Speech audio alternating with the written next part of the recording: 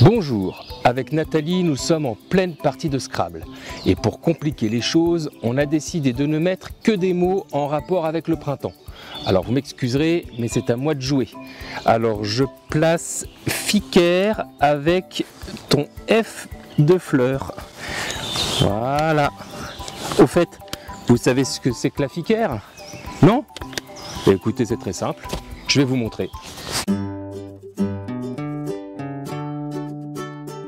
Son vrai nom, c'est Ficaire fausse renoncule.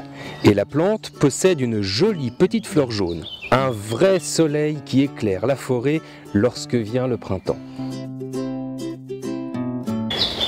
La fleur apparaît normalement entre février et mai. Je dis normalement car avec le changement climatique, il peut arriver de la rencontrer dès le mois de janvier. Qui sait, peut-être qu'un jour la ficaire fausse renoncule sera une fleur d'hiver et non plus une fleur printanière. Pendant que tu montrais la ficaire, j'ai joué pétale. C'est à toi maintenant. Alors moi, j'ai un mot de 11 lettres. J'ai Nyctinastie. Mais arrête d'inventer des mots, tu triches là. Bah, si, justement. Euh, sachez, mes amis, que la fleur de Ficaire fausse renoncule pratique la nyctinastie. Vous savez pas ce que c'est? Eh ben, je vais vous montrer. Et la nyctinastie, c'est lorsque la fleur s'ouvre le matin et se referme complètement le soir. Alors elle fait de même par temps humide ou très nuageux. Cela lui permet notamment de protéger ses organes reproducteurs, pistils et étamines, contre le froid et l'humidité. Bon Arnaud, tu reviens?